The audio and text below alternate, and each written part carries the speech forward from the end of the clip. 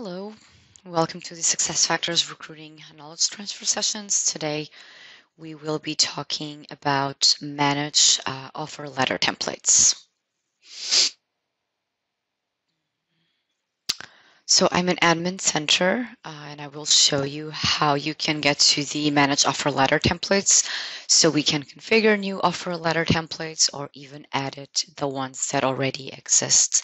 So from the admin center page, either we use the tool search here at the top and we type, for example, offer letter, and then we have this option here, manage offer letter templates, or we can use the recruiting menu here and then select this one, manage offer letter templates.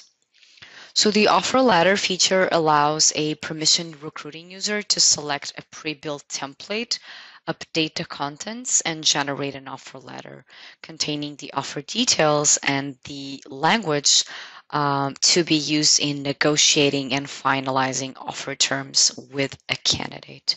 So as an admin, you will be responsible to create those templates so that then later on in the recruiting process, a recruiting user can actually pick the template, make any um, adjustments that are needed, and send that offer template to the candidate. So the um, to be able to come to this page and make the adjustments to the offers that exist or to create new templates, you need to make sure that you have the permission manage offer letter in the uh, in RBP. So you need that permission to be able to access this page. So just make sure you have that. Um, here in this page, as you can see, I have a few uh, templates already. These are the templates that I have created um, for testing purposes, for demo purposes. I have some information here. So I have the template name. I have the status. So the status would always be enabled or disabled. And I have the translated in column. So an offer letter can be created in a single language. However, if you have multiple languages enabled in your instance, you can definitely translate the offers so that once you are hiring in a different language for a job in a different language, you are able to send an offer letter in that specific language to the candidate.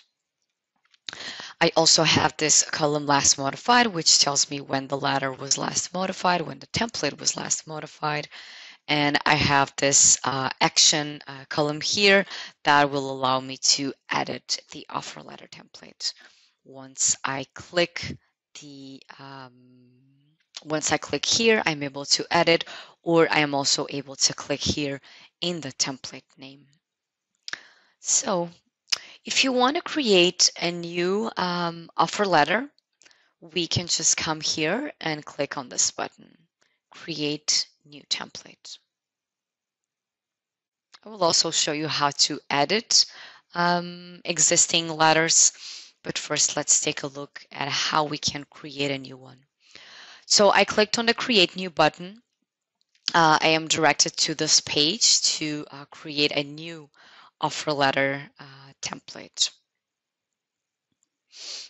I have here the, the very first field that I have is change country, region, and language. So I can select the country and the language that we want, uh, that I want from the drop-down menu.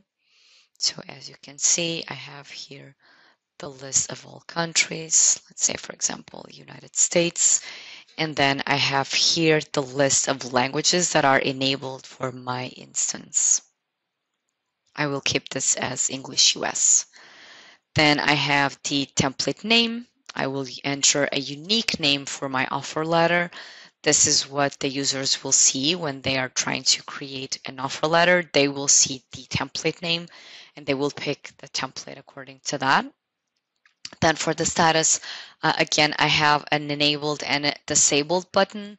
So if you want to use this offer letter, you need to enable the letter. So really make sure that you have checked the box here for the enabled um, for the enable button. So let me just type here.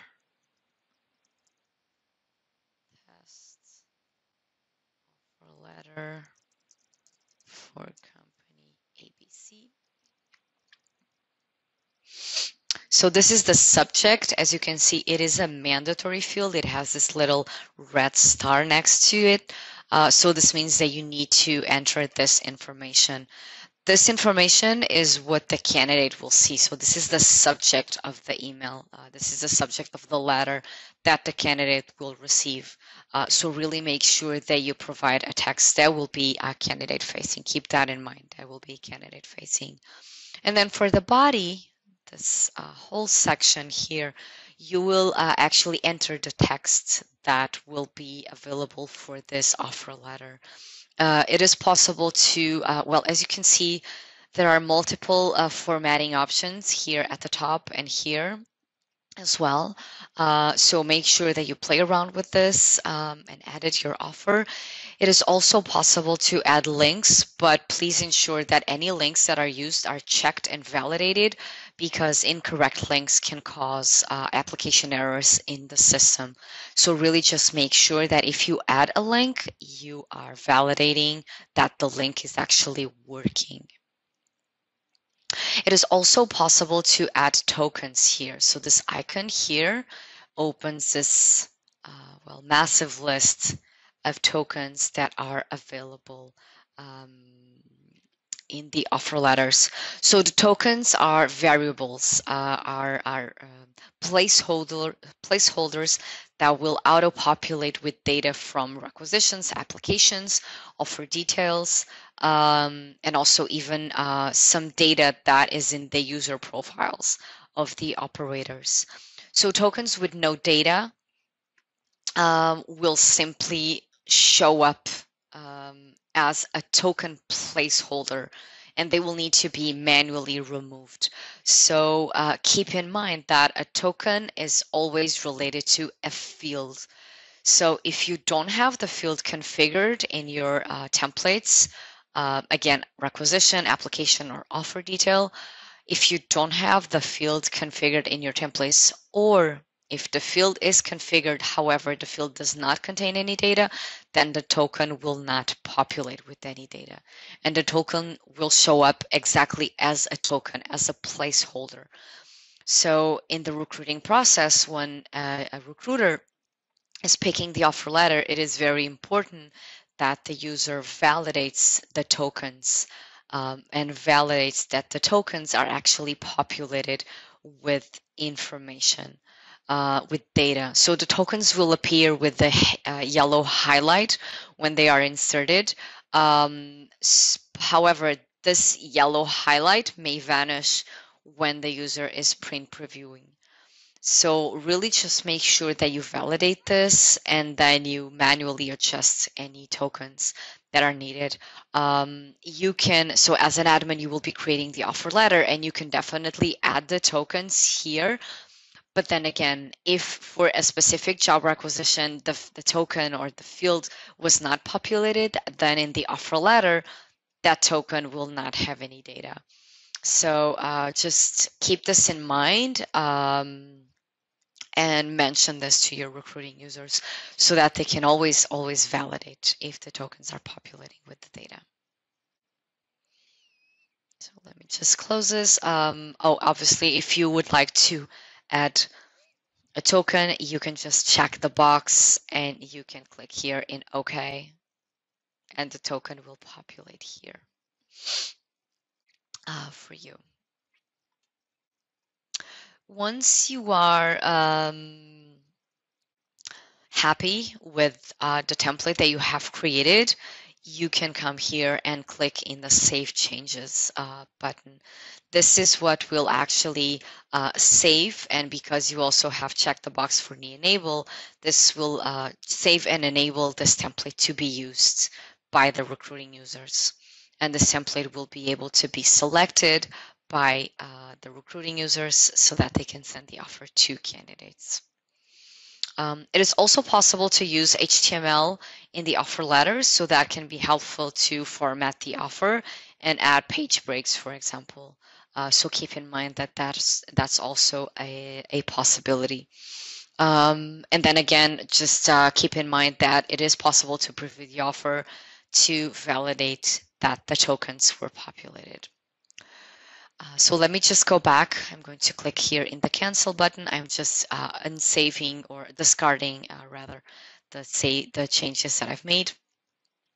Um, and again, I mentioned before, you have two options to edit an offer, uh, an offer letter that already exists. So either you select the template, so you click on the template name, or you come here to the action and you click in this uh, little icon here. So it is really up to you. You can use both. So if I click on the template name, I will just uh, open this offer letter that exists in the system and then I can make any adjustments that I need to make. I can even disable the offer. So let's say that for whatever reason, um, your company doesn't need this offer anymore. We don't have uh, the uh, delete offer, but we have uh, this disable um, option here. So if you disable an offer, then a recruiting user will not be able to select this offer from that point forward. The recruiting user will not be able to select this offer template and send it to candidates. So really make sure that you enable or disable according to uh, the requirements for the company just cancel back. And this is uh, really how we can create new templates or edit the existing templates.